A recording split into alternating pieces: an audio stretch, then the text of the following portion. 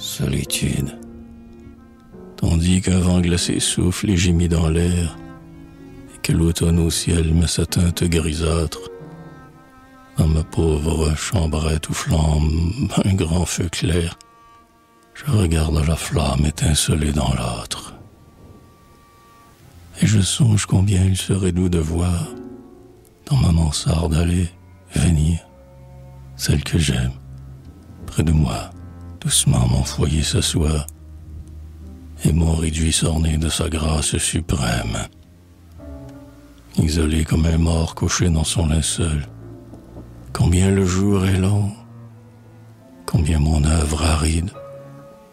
Ma chambre est un désert immense où je suis seul, et je reste rêveur devant son siège vide.